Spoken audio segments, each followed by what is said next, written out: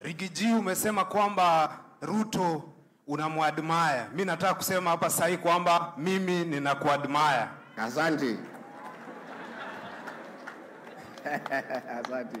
Your Excellency Rigiji, umetoka kuongea mambo ya busara sana hapa, ukasema kwamba eh, kulikuwa na deep state ilikuwa inawasumbua. Swali langu ni je, na ukaprofesa ukasema kwamba kutakuwa na president kutoka hapa, ukasema pia kutakuwa na magavana na etc etc.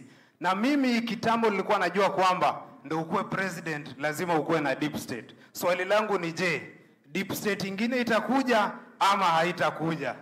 Mwisho kabisa, Rigiji, ningependa baada ya hapa nikusalimie kidogo, kwa sababu you are my idol.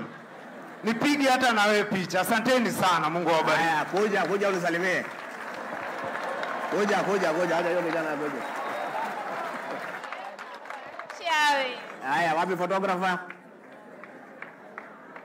Haya, kuja kuja kuja.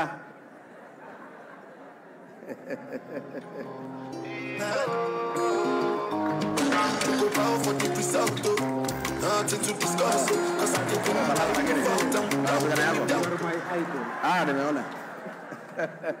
Haya, haya, haya, haya, haya. Hii kijana, alafu tafute umpatie hiyo picha.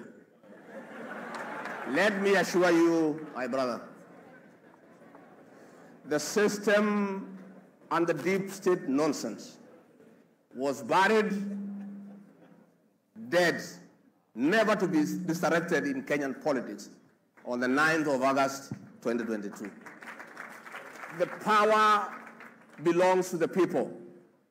The sovereignty of this country, Article 1 of the Constitution, rests with the people of Kenya. It is the people of Kenya in a democratic process with regular elections every five years